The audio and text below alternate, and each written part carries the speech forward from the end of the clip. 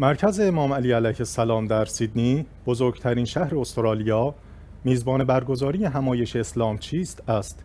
این همایش که بخش عظیمی از آن به پرسش های شرکت کنندگان درباره اسلام اختصاص داده شده بود مورد استقبال چشمگیر بسیاری از شیعیان و شخصیت های مذهبی و فرهنگی شهرهای مختلف استرالیا قرار گرفت. برگزار کنندگان و شرکت کنندگان در این همایش از آن داشتند که با افزایش موج اسلام حراسی در غرب برگزاری نشست های هماندیشی و روشنگری درباره اسلام واقعی ضرورتی دوچندان پیدا کرده است.